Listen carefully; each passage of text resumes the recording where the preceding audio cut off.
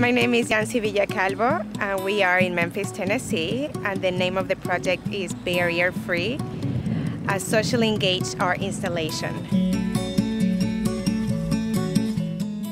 Mainly about the U.S.-Mexican border proposal. This art project is an attempt to advocate and to empower all the communities and all the groups that feel threatened and at the same time they are being united.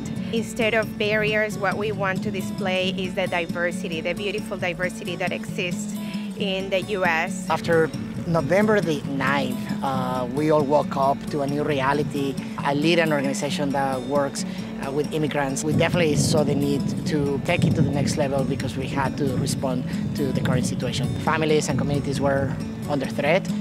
Seeing firsthand how families are being divided, it really got to me. It just hurts the, the whole community at large. You know, we thought about the different angles that we had, you know, to approach this. So when Yancy came with the idea of, of doing some kind of art that was interactive, that was engaging, participatory, that we could take to different communities, we said, well, this is it.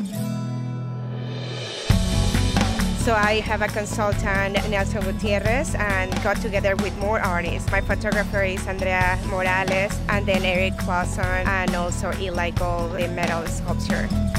it has many components, a diverse mural that represents the community, the messaging board, the, the silhouettes of, of people seeing their own reflection, but also the missing parts, the cutouts of what the person that is no longer there. I really wanted to make a point that we had to be even more involved in uh, what's happening and to use our civic engagement to help and to change the laws that are hurting the community.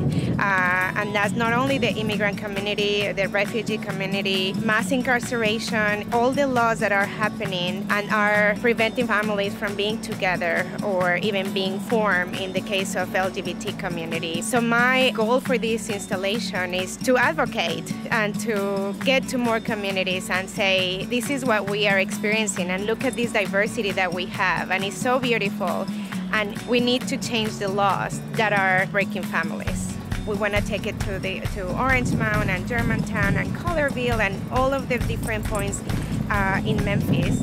And not only in Memphis, but then it will travel to more cities in the U.S. because this is not only a Memphis topic, it's a U.S. topic, it's a world topic. One of the parts of the installation is the actual fence where people can talk about their own experience, their own story, talk about their thoughts or prayer for someone or in memory of someone who has tried to come and hasn't arrived yet or who tried and didn't make it or died. You really have their hearts out. I left it open because I really want to hear from the community.